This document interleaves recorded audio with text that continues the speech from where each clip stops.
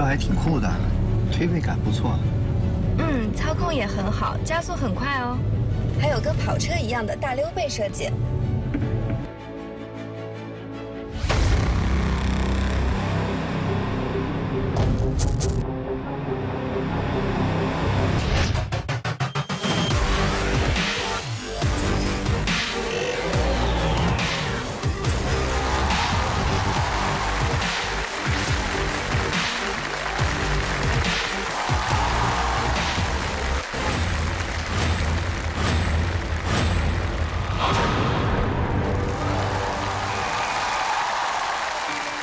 生活，支付宝刷新世界。本节目由每天都在用的支付宝独家冠名。同样的，向各位介绍今天的几位重量级的嘉宾，他们分别是科技新推官马思纯、科技发声书李淼、科技制作星王梦秋。接下来，我们用热烈掌声有请科技体验官。奥运冠军跳水王子田亮，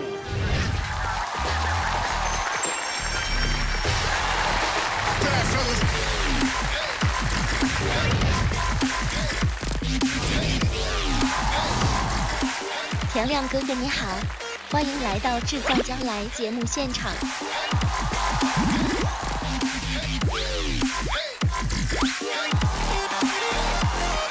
欢迎你，杨老师你好。今天你对我们这个节目有什么样期待？我期待就是让我见到我从来没有见到的东西。好，我们一定不辜负你的期待，请上嘉宾座。好，谢谢。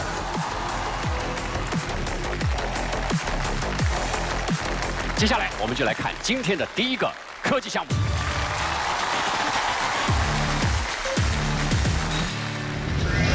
这是我的爷爷和奶奶。我的爷爷呢叫崔新礼，今年八十一岁；奶奶呢叫曹雪梅，今年七十七岁。他们结婚已经五十六周年了。帅不帅呀？帅吧？哎，你就是帅。我是陪在爷爷奶奶身边长大的，跟他们关系特别特别的亲。但是呢，我没有办法时常的陪在他们身边，因为我也有自己的工作啊，有自己的生活。那么平常呢，也只能说是打个电话，或者说是偶尔去看看他们。爷爷患上阿尔兹海默症以后，走丢过一次，当时全家人找爷爷都找疯了。奶奶当时也是特别担心，就抱着爷爷的衣服一直在楼下等着，在寒风中吹着。找到爷爷的时候，爷爷只说了一句话，就是“我找我的老婆”。爷爷有糖尿病，很多东西他都不能吃的，含一点点糖的食物，对爷爷来说这个都是不允许的。每天他都是要吃药，要打胰岛素。十九、二十、二一。现在奶奶年纪也是慢慢变大了嘛，有时候呢也是很力不从心，可能偶尔有一两次会忘记给爷爷吃药，所以我们也是特别担心的，因为我们不能时常的陪在爷爷奶奶身边。希望能有什么办法，让我们虽然没有陪伴在爷爷奶奶身边，但是呢，好像没有离开过他们一样，时刻和他们在一起。你几个孙子啊？八个孙子啊。四个孙子啊。四个孙子。对呀。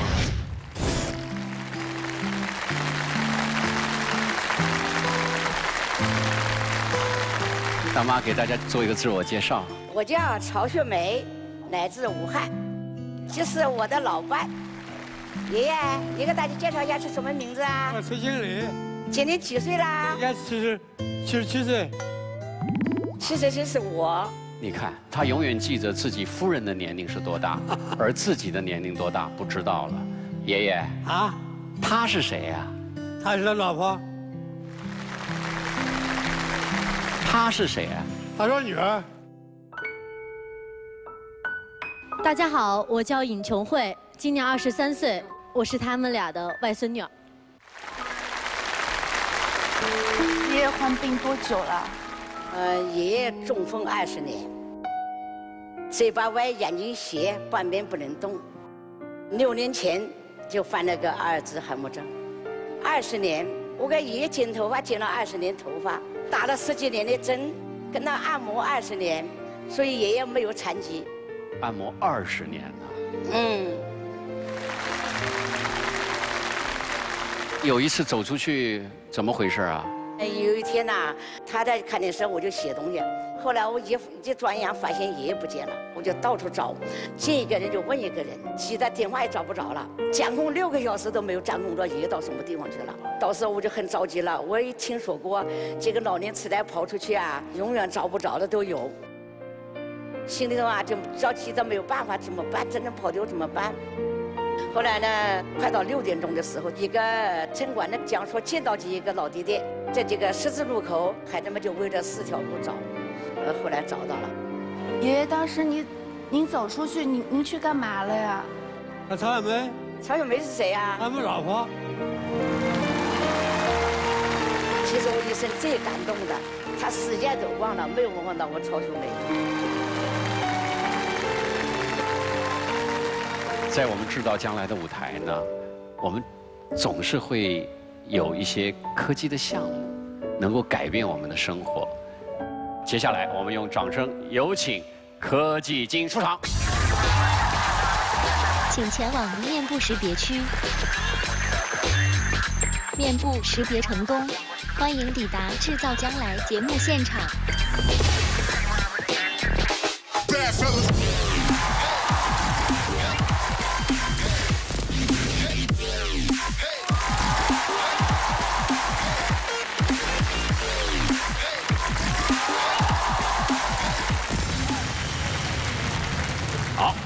给大家做一个自我介绍。我叫丁显峰，负责智能人居的研发。哎，咱们对这个给崔家做了哪些改造？哎，我们为他们量身定做了一个智能家居的看护系统。哦，啊，我们已经把智能家居的智能传感器呢集成到了这个贝贝的这个手机上。首先可以看到哈，比如说爷爷在二十一点三十六在睡觉了。啊，早晨七点钟起床，然后包括他去了这个洗手间的这样的一个事情，我们也会记录出来。就是我看到这个这些指数在家里都是有一些探头这些东西去实现的吧？是的，就是说我们呢，在这个爷爷奶奶家里面呢，安装了红外整体传感器，在他的客厅，在他的卧室，这样的话呢，可以检测他有没有睡觉，有没有出门，有没有上洗手间。那他的那个身体的那个健康是不是也可以去感受到呢？是的，可以看到这边一张蓝色的 bar 是吧？嗯那这个蓝色的 bar 呢，是代表的上面几点几分，二十点十分，他需要吃药。那这个是贝贝呢，他按照医生的嘱咐，把爷爷的药方录入到他的手机上面。哦，可以录进去。对，然后同时呢，啊，关联到你身边这个药箱里面去了。蒋老师，你可以试试看。好，来。奶奶，现在要给爷爷打胰岛素哦，不是降压药，不要拿错啦。这是贝贝的声音吗？这是贝贝的声音。比如说到九点钟是降压药的时候啊，然后他会主动来提醒奶奶什么时候吃什么药，什么时候吃哪种药。那么这一地方现在是一个蓝色的坝，如果假设过了八点十分，它会就变成橙色的坝，啊，橙色的坝就是提醒贝贝哈，这边就打电话给奶奶，你应该给爷爷吃什么药？哦，也就是说过了时间没吃，贝贝知道。对。这个蒋老师，你可以看看这个冰箱有什么不同？这不就是我们家庭的普通冰箱吗？是的，那蒋老师，你看你要不要你打开试试看？好。爷爷，我是贝贝，你不能吃甜的啊，你要多吃点蔬菜。哦，当两位老人打开呃冰箱的时候，他要提醒他。是的，姜老师，你看哈啊，这同时在贝贝的这个手机上，他也就收到了冰箱里打开情况里面的照片。蒋老师，你可以随便拿一个东东西出来啊。奶奶，柚子对你和爷爷身体特别好，记得多吃一点啊。啊，他知道我拿一个柚子。对，这个就是我们的摄像头的最主要的功能，它可以完全识别到，比如说香蕉啊、黄瓜啊、柚子啊，然后根据这个爷爷的健康状况，我们可以主动推荐和关怀，呃，这个比如说爷爷到底应该吃哪一种蔬菜啊，哪一种水果。还有一个问题，就刚才那个问题了。就爷爷万一溜了出去以后怎么办？我们给爷爷带来一下一个智能的手环，然后这个手机上有一个黄色的这个 bar，啊，这个点开黄色的 bar 就可以看到爷爷的定位的位置。在今天爷爷定位的位置就在这个我们的演播现场，就是我们现在所拍摄的地方。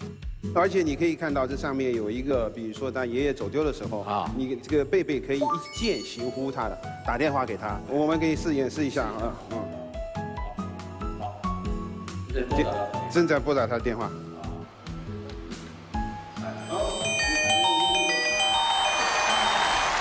那就意味着咱们大妈哈。如果将来你带着这个手机的话，就不担心他从家里走出去了，我就放心啦。哎，好，智能手环它也能感受到它的这个心率和波数、血压。比如说今天他的健康指数是八十六，然后超过百分之八十，他就是一个比较好的健康状况。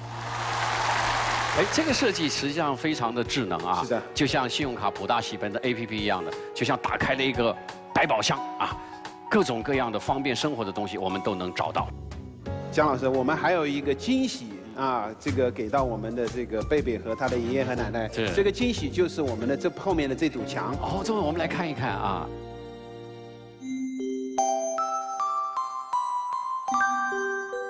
哎，我们看到这面墙可能是咱们崔家的一些照片，是吧？刚才你跟我说了有惊喜，惊喜在哪儿？这惊喜，请看。您收到一段视频，快来看看。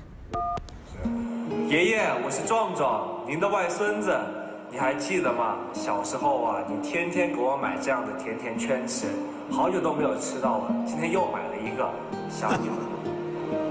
爷爷，你一定要好好听奶奶的话，等着我放假回去看你们。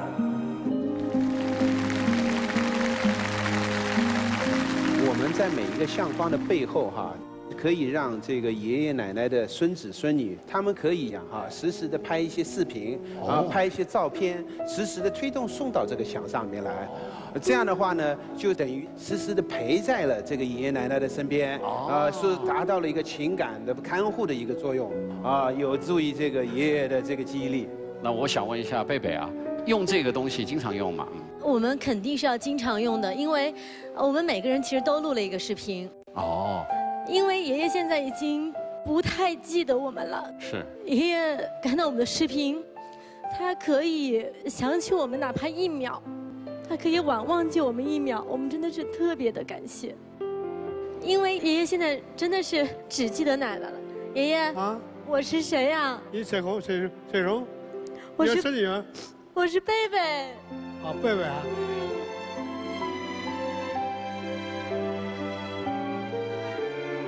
坐在你身边的是贝贝。啊，对对，贝贝。啊。啊，那我再问你，他是谁啊？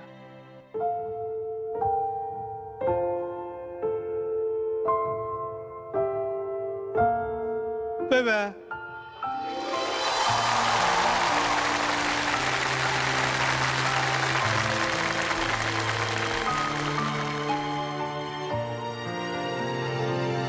心酸。心酸啊！心为什么酸啊？我他家里叫贝贝的那些，我就问了问，稀里糊涂的。他说他记不起贝贝，自己稀里糊涂了，他感到心酸。你看，这就说明那个爱的种子依然在他心里。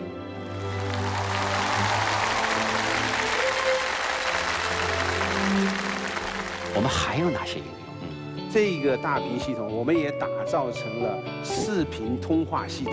哦，这个爷爷奶奶可以用它打电话给他的任何的亲人。哦，所以我想问一下爷爷奶奶，你们现在最想和谁通话？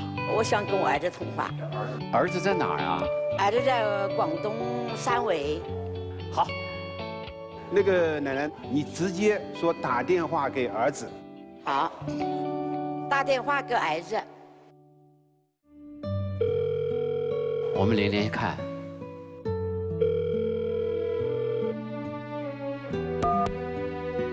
这是儿子，爸爸是吧？爸，你们身体怎么样？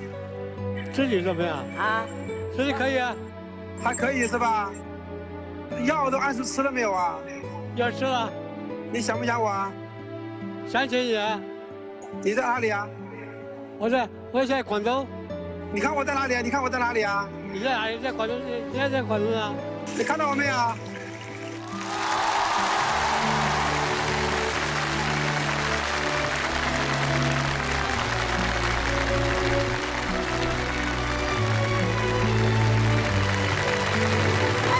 真的？哎呀，我的儿子跟那个啦，哎呀，哎呀，真来了！哎呦，都来了。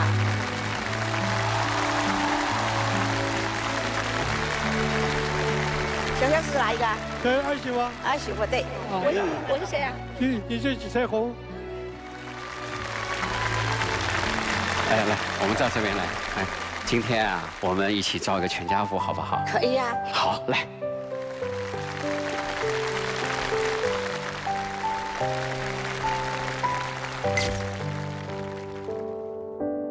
看到我们刚才的那个演示的系统啊，哎，你什么感觉？首先，我代表我们全家人感谢这个所有的科技人。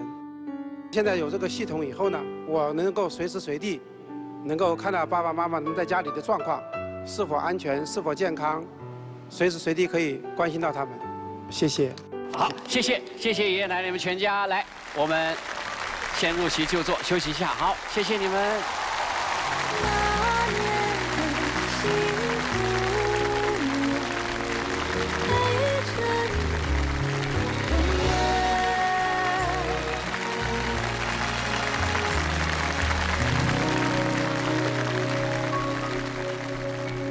实看到他们站在那边拍那张全家福，还蛮蛮心酸的。大家都太忙了，没有时间去关注周围的人他的心理状况。其实没有什么比我们身边的人对我们更重要，所以我们应该从身边开始。我奶奶听不清楚，她就天天就是，她只要能见到我的时候，她就这样看着我，然后有的时候她就哭了，她就笑了，因为她只能见我那么一会儿。我觉得刚才就是我看到那套系统的时候，我特别自责，我觉得我自己做的真的不够。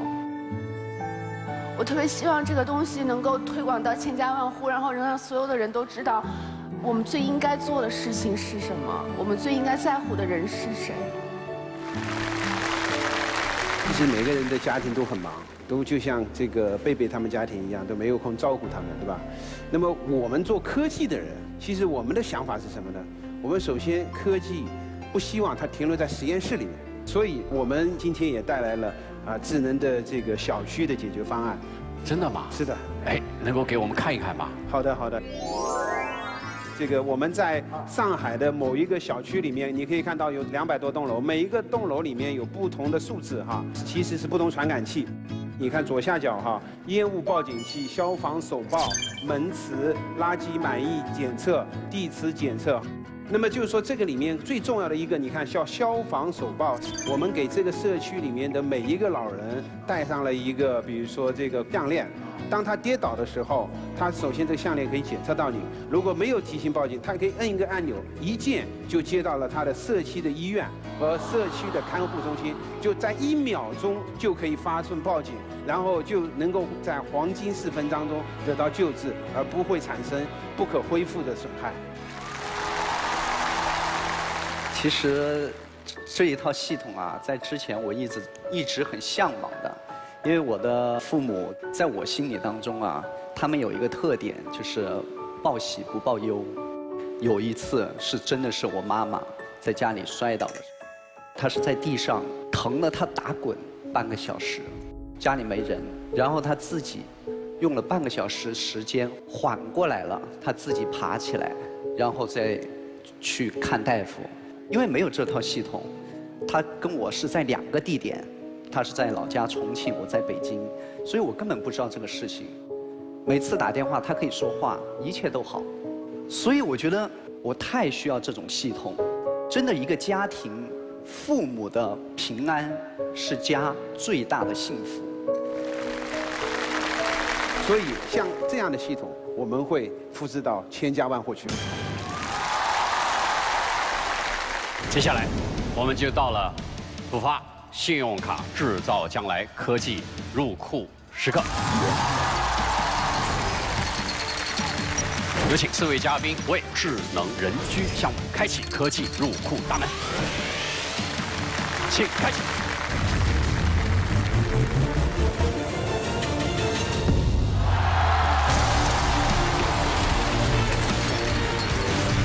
好，现在我们请丁显峰代表智能人居项目进入制造将来科技库，有请。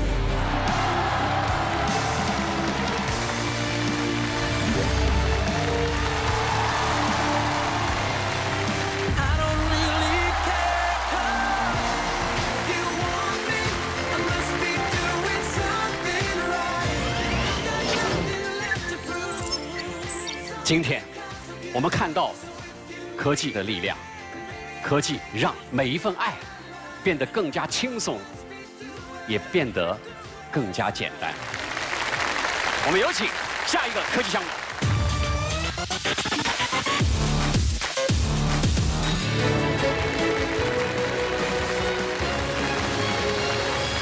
大家好，欢迎来到制造将来第一届辩论大赛。我是你们的主持人王梦秋。今天我们非常有幸，请到了空前绝后的全明星辩手阵容。第一位，科技新飞官马思纯。大家好。反方一辩，数据精英鲍一辩。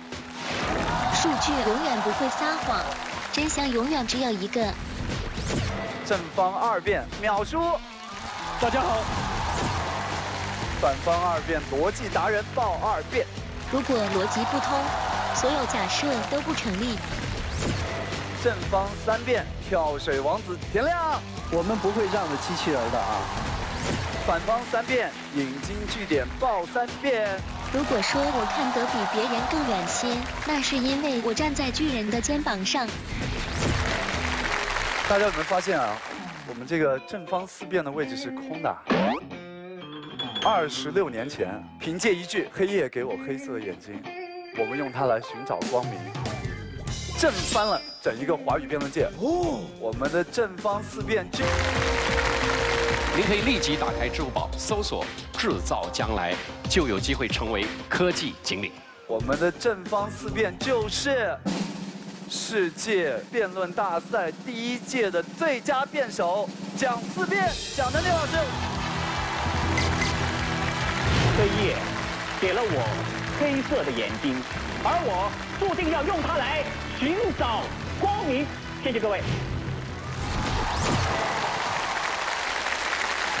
那么反方四辩就是我们的拉票大师鲍四辩。你不投，我不投，小鲍何时能出头？那么今天我们的问题是什么呢？职业女性要不要在家下厨？请发言。我觉得职业女性是要在家做饭的，因为职业女性也要在家吃饭。你不做饭，你怎么吃饭呢？所以呢，你要学会自己做饭。好。第二点呢，做饭不光是呃为了填饱自己的肚子，做饭有的时候也是一种心意。第三点，职业女性独立自主，想干嘛就干嘛。我高兴做饭我就做饭，我为什么不能做？好，我们伶牙俐齿的马思纯哈，那么反方一辩该你了。你放心，他们没听懂。对于反方辩友马思纯小姐的说法，我报一辩表示不敢苟同。哦，我们所理解的真正的精神独立，就是敢于选择属于自己的路。就像你们人类走路基本靠腿，我们抱小蜜移动基本靠滚。就拿身边的数据来说。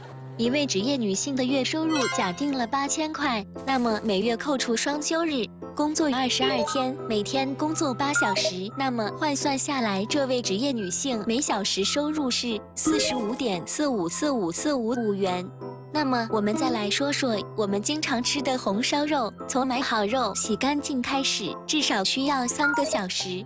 做一顿红烧肉，损失在一百三十六点三六三六三六三六块。职业女性原本可以创造更高的价值，你三个小时炖出来的是红烧肉，他们炖出来的是红烧钻石玛瑙金镶玉。让职业女性下厨做饭，就是对社会资源的巨大浪费。真正成熟的社会应该包容每个人不同的选择。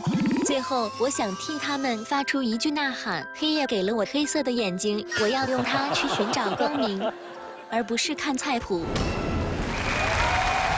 我苗叔，你准备好了没有？好了。好，请我们的正方二辩，苗叔。鲍小蜜说到成本，我方认为成本不是计算和评估一件事情的唯一标准。太对了。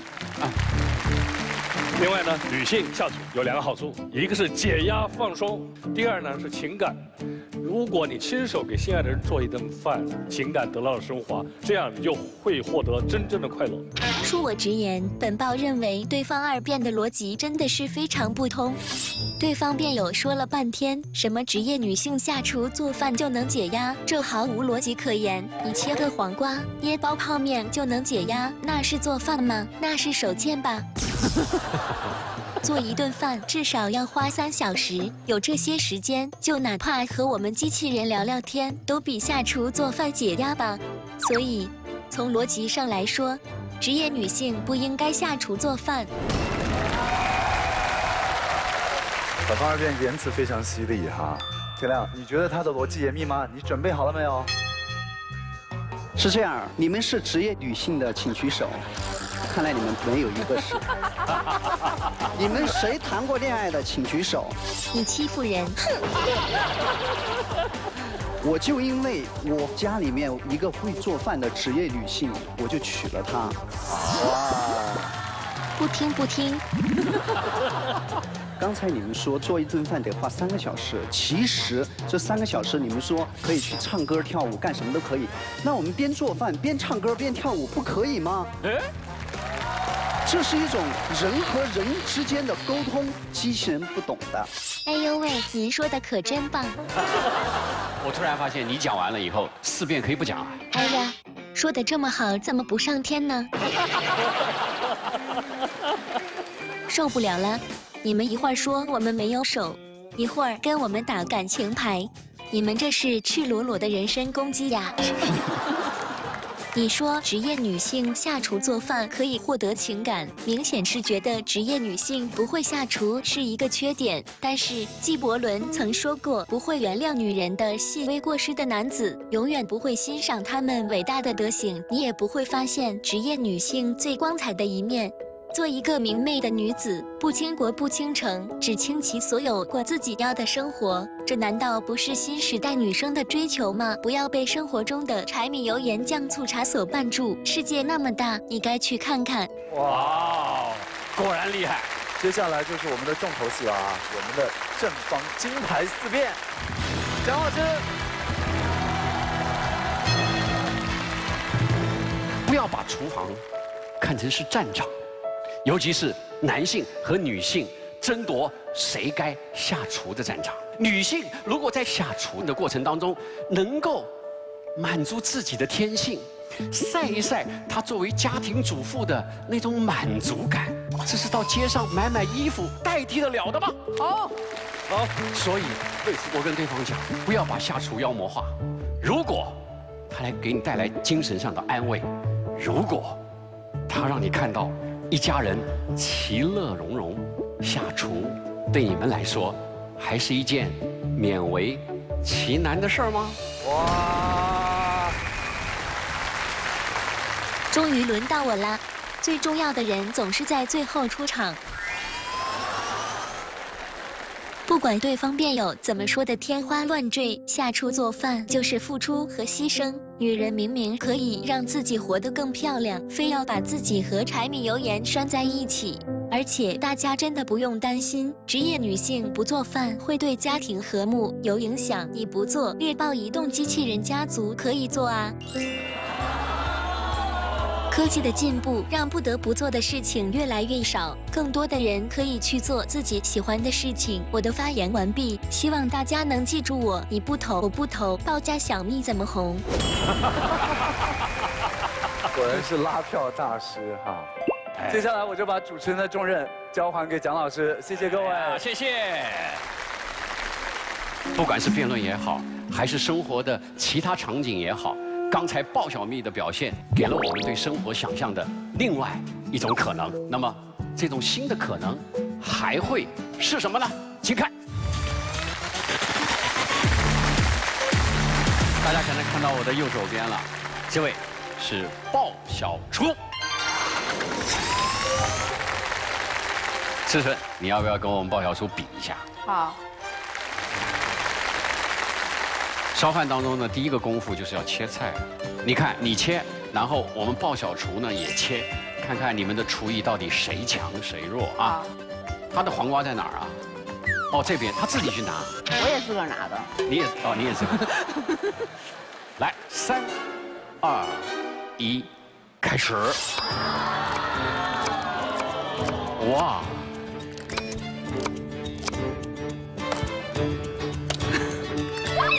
好快，当心手啊，一定要当心手。你顺便看看人家。思纯，他好像切的不快，他就一刀一刀的这个。他切的很薄，对，切的薄倒是真的。就他赢了呗，好吧。你看你们都不给我信心。谢谢，来掌声给一下思纯。来，鲍小厨的手艺，我给大家看一看啊，我把黄瓜摊开。哇，厉害！据说我们这个鲍小厨会给大家烧一盆拿手的好菜，我们也请嘉宾上台，近距离来看一下鲍小厨的厨艺到底怎样。来，有请。做什么菜啊？宫保鸡丁。哎，这还有点饿了。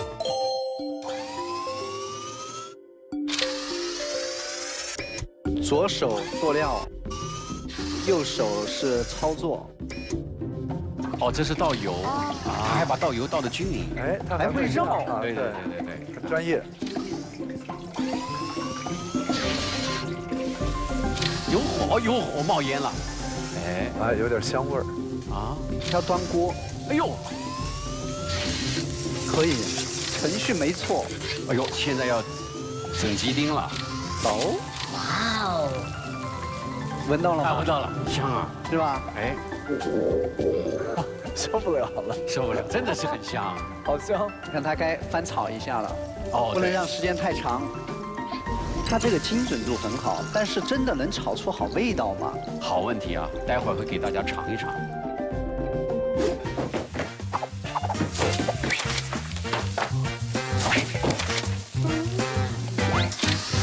很香啊！看他要装盘了。哎呀，一气呵成啊！来，几位，先来一块肉。是吧？花生来一个。我还想吃。还想吃肉。好吃。这评个级别，米其林厨师。哎呦，来，掌声鼓励一下。接下来呢，给大家介绍鲍家族的另外一个明星，叫鲍咖啡。田亮，你喜欢喝咖啡？是。怎么用最好的程序让你喝到最好的咖啡？爆咖啡可以讲说是费尽了心思。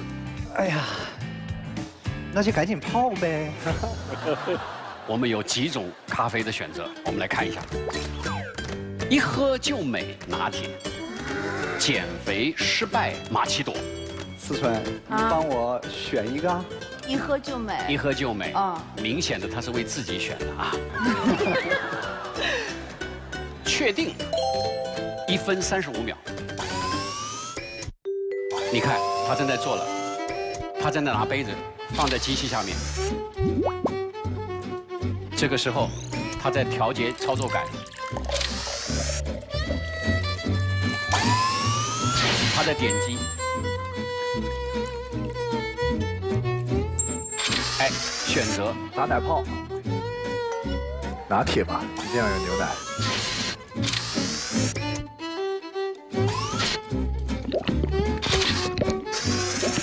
你看，它打磨了以后还给你摇晃。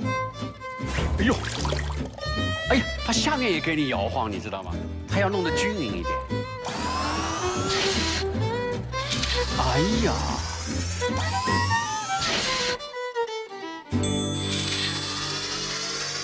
哦，他自己把门给我开了。好，现在有请科助，把这个一喝就美的拿铁送给田亮。哟，太棒了！哎呀，喝喝看。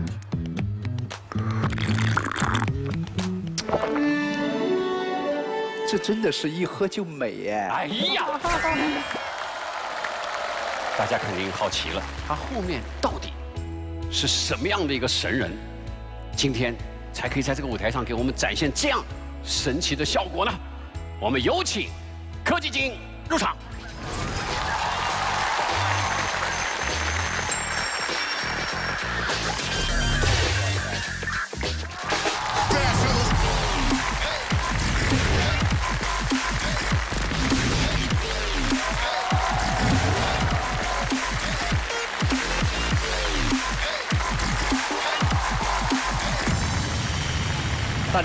我是猎豹移动的服务机器人研发负责人王斌。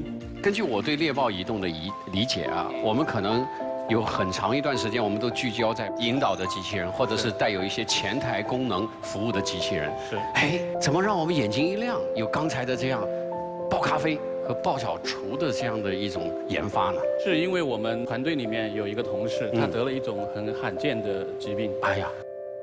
就是这种疾病呢，就是让他呢在生活中有很多我们觉得非常简单的事情，他也会觉得很困难。这同事今天跟你们团队一起来了吗？对对，他今天就在现场。在现场？是的。好，我们请出这位同事，有请。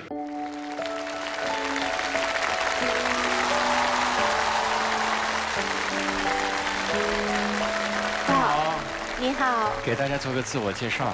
呃，大家好，我叫刘开心，来自猎豹移动，大家叫我开心就好了。叫你开心就好，我们也开心就好。冒昧的讲讲，我握你的感觉吗？握手的时候。嗯，可以的呀。我摸他手的感觉，就是没有骨头的感觉，就像摸了一个树叶的感觉。刚才咱们王斌说，你可能。得了一种病，那是什么病？跟我们大家讲讲。呃，我患有一种非常罕见的结缔组织病，叫 EDS，全称是 Ehlers-Danlos 综合症。它是一个非常小概率的事件，所以我经常开玩笑跟别人说，我这就相当于是中彩票了。你能不能，就是举一个例子，你这个结缔组织会影响到你什么？嗯吃饭对我来说就是充满疼痛感的一件事，并且很辛苦。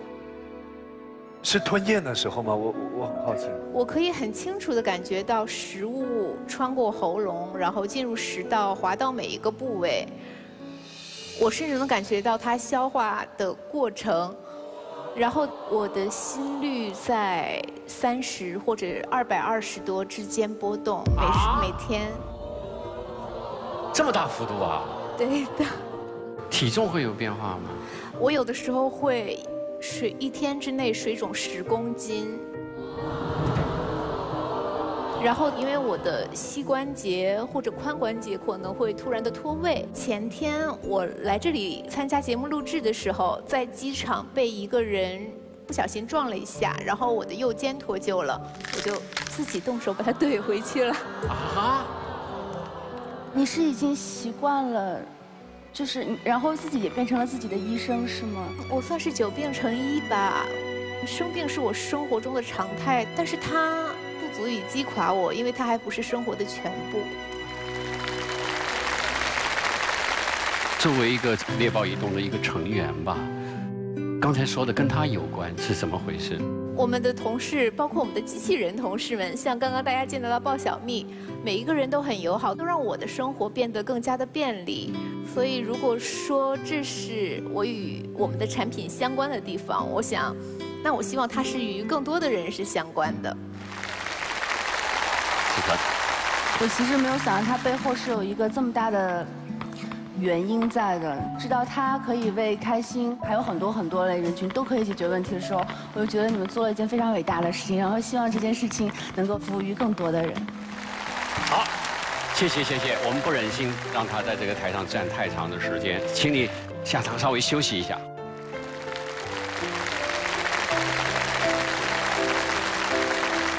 我想问，咱们下一步准备攻克哪些技术难题？我们今天做的是在某一个特定场景下、某一个特殊的应用里面，把我们已经掌握的一些技术，通过深度学习，包括芯片和传感器的一些进步，把它运用起来，放到一个特定场景里面，然后我们再通过我们自己的一个全技术链条，去优化它的用户体验，把我们的视觉导航、语音识别等等这些算法，全部组合起来，在一个场景里面，把用户体验做到最佳，这就是我们将来要做的。好，掌声鼓励一下。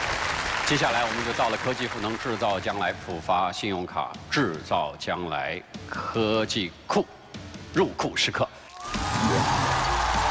现在我们请四位嘉宾为猎豹机器人打开科技入库之门，请开启。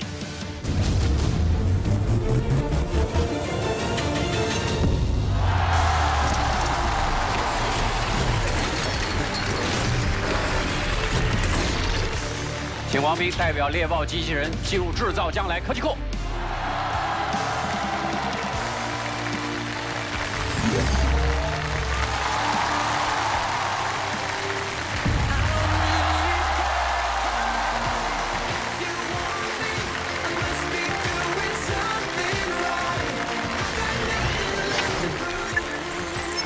我们有请下一个科技项目。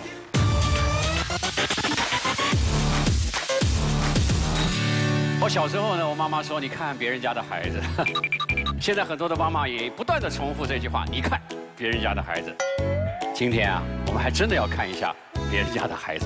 有请三位朋友，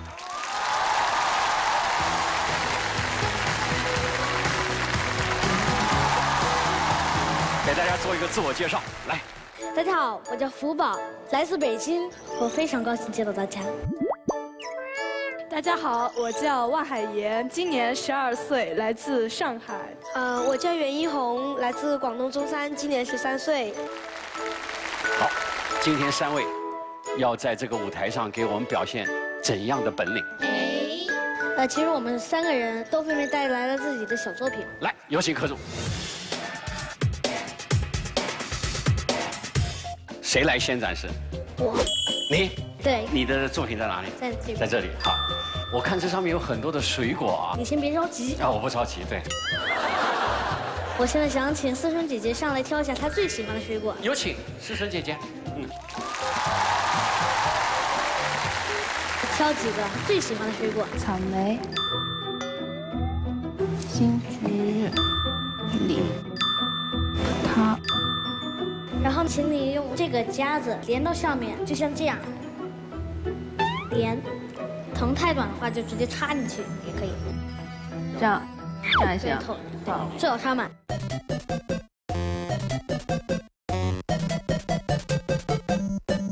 OK，我现在要变个魔术。哎，请思春姐姐碰一下她最最最最最喜欢的水果。她不会电我吗？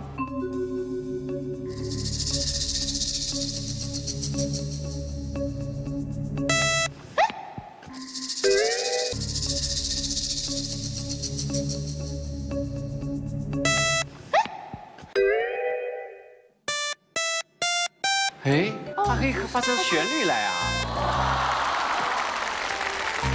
现在呢，我先弹两个小节，看看思春姐姐能不能听出来这首歌。哦，而且这首歌特别适合蒋老师。哎，夕阳红。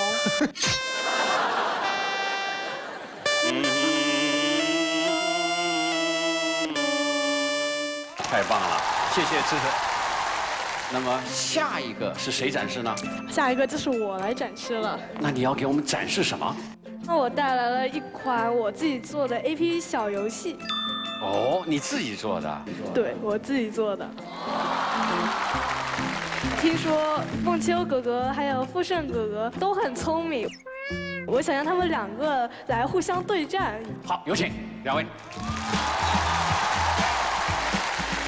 我想问一下。这个游戏是不是很简单？对，它是一个很魔性的小游戏。哦，只要点击屏幕让它跳起来，站在格子上就可以了。好，比赛开始。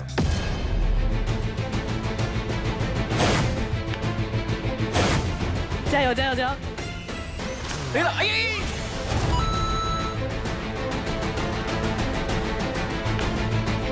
哎！毛毛球停留在一分。这个肯定是触摸不灵。现在就是看复胜了。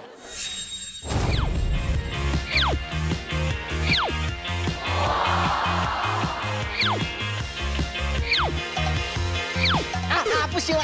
哎呀，好，最后傅盛以四十二比一胜出。来，两位入座。杨老师，你知道吗？啊，别看那个游戏很小，它设计了很多小的这个机关在里面。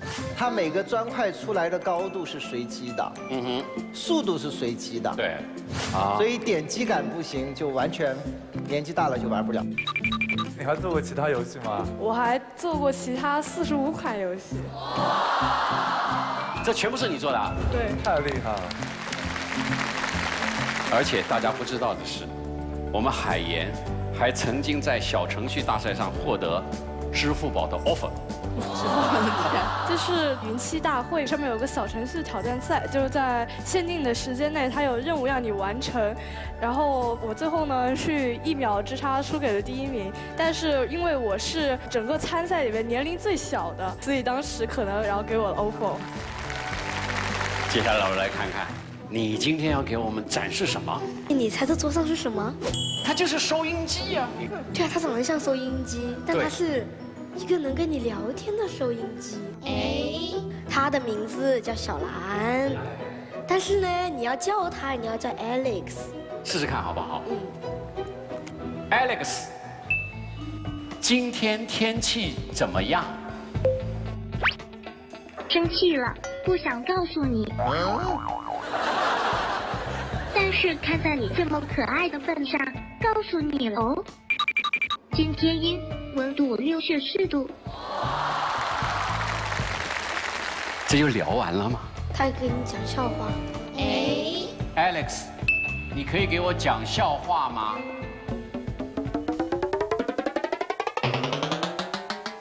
买了个灯泡，问老板为什么不亮，老板说这是限量版。好冷哦！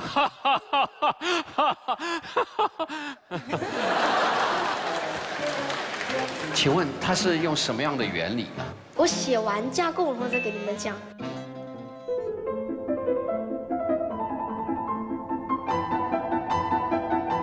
写完了。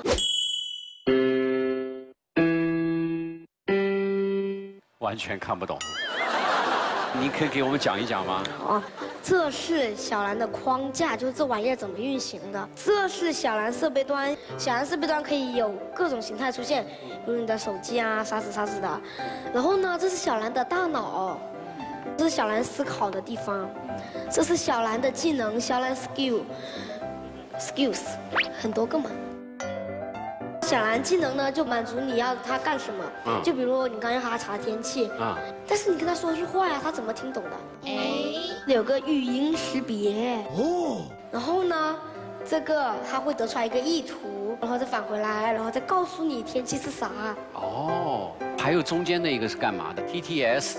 他会出来一个文字，然后把文字变成语音再告诉你。大家听懂了吗？世纯听懂了吗？江老师，他这里面有一些非常专业的东西，就是我博士的时候搞的东西，太厉害。傅盛，如果非常客观的说哈，就是说他对这个构架的理解，我认为在某些角度超出了一般的工程师的理解。我觉得这几个孩子既很聪明也很幸运，他们身上体现了孩子那种好奇心。这么小去学学编程，在我们上代人看起来都不可想象。呃，但是事实上这个时代变化是如此之快。后来我们发现，所有的真正的时代的进步都从孩子开始。那我相信他们可能真的是真正改变中国的一代。每一个人都身怀绝技，而且超出了他们这个年龄，所以非常的了不得。他们呢，在网上了解到了四川省大凉山普格县有一座中心学校，他们把自己所学的跟他们分享。我们来看一下，维斯亚。美丽的大凉山迎来了三位神秘的孩子，他们将要和普格县中心小学的同学们一起进行学习生活。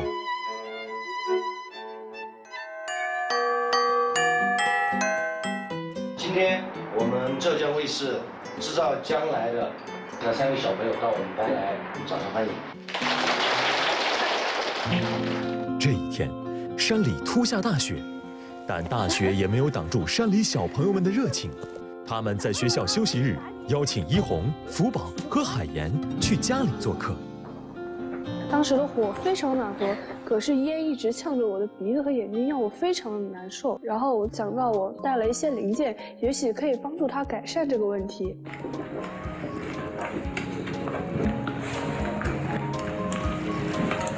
好嘞，来，你来拿拿靠近这个烟来试一下。它这里就会显示它这个指针，它就会转过来，然后显示要开窗了。然后像你看，它这个会有一个摄像头，进行屋内的一些实时拍照。请坐，谢谢。你平时喂鸡吗？喂。看到他们很辛苦的早上一大早起来，所以呢，我就想着要做一个定时的喂食器。一天喂两次吗？你要？稍微给你改一改，就是到六点它就打开了啊，没有问题了。现在就好了，放你垂直的放，我试一下啊。现在五十九分，应该快了。哇哇，好棒啊！哎呀，挺有意思的啊。但是你们在去大凉山之前，你们是怎么想的？我从网上了解到他们的一些很多资料，他们一些取暖措施非常不方便，所以呢，我就想用我们的创作去改善他们的生活条件。我去之前呢，就希望能给他们带来一些改变，教他们去学会编程。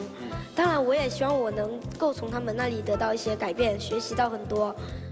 其实我想的很简单，我希望用我的快乐可以感染到他们，让他们的课余时间变得丰富一些，更有趣一些。每一个人从小都有自己的善良的种子，每一个人。都有关心别人的一颗心。哎呀，希望你们把这颗心一直带着，直到永远，好不好？请你们到场下休息一下，谢谢你们。那么大家肯定要问了，这个别人家的孩子，到底从哪里学来了这么多的本领呢？我们就有请出这位科技精，别支持，请出这位科技精。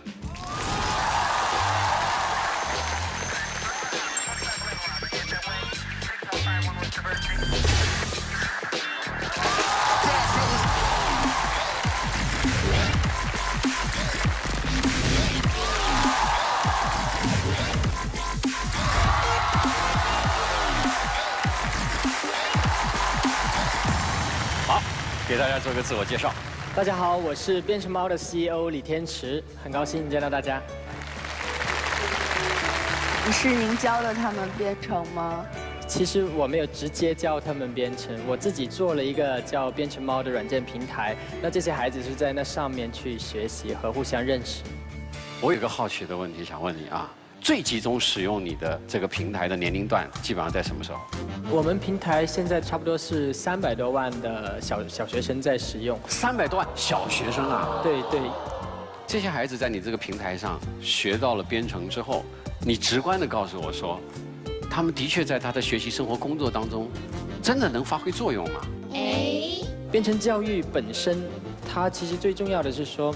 我们的这些孩子的一些逻辑能够去得以锻炼。为什么我们把编程和猫放在了一起？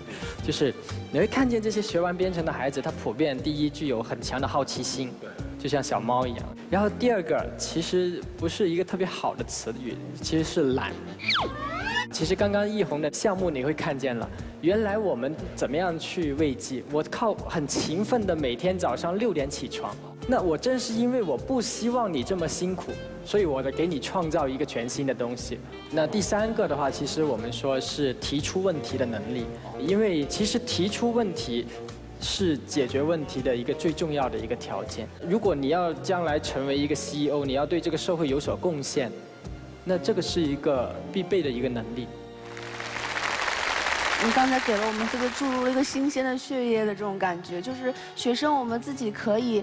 选择我们自己的兴趣爱好，我们自主的权利更强了。其实这样的话，一个是提高自己的兴趣，呃，知道自己喜欢什么；还有一点，我觉得最特别重要的是，你会更关注自己的内心，更关注身边的人，包括像这三个小朋友一样去大凉山，去关注整个社会。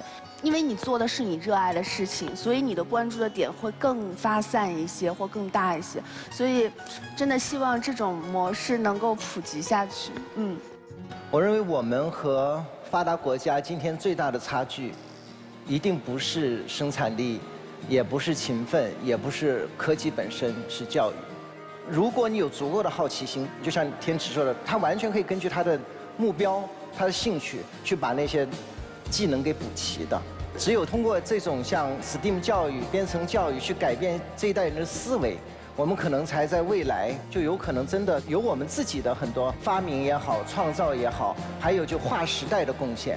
我觉得这可能是就是下一代这个孩子们他们有机会去做到的。我们也希望电视机前的小朋友呢，能够通过编程猫的课程来了解怎么样学习编程，爱上编程。更重要的是，通过一个个编程的作品，造福你周边的人。接下来，我们就到了浦发信用卡科技入库时刻。我们请四位嘉宾为编程猫开启科技入库之门。请开启。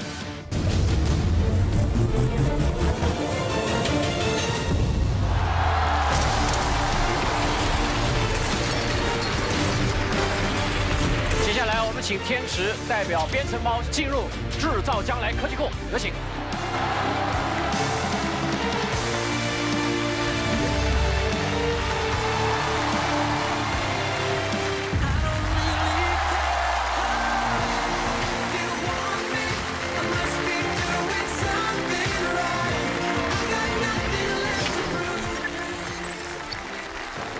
梦秋哥哥，你也在用编程猫学编程啊？是啊，我也想让我女儿用编程猫学编程啊。嗯，这个很方便呢。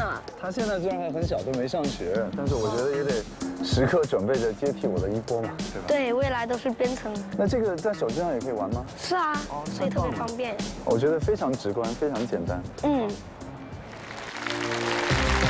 下载浦发信用卡 APP，参与互动问答，赢科技好礼。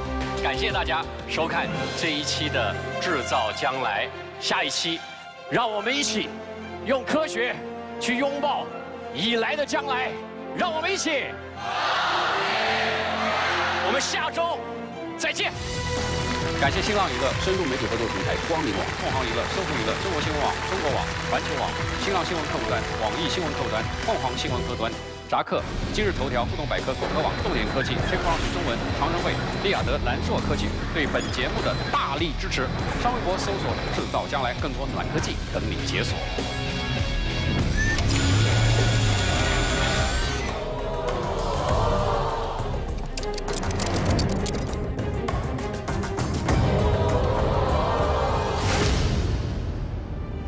哇，这就是中国制造。有一群人，他们钻研一生，只为突破一件事情。我们怎么能把我们做到一个世界第一？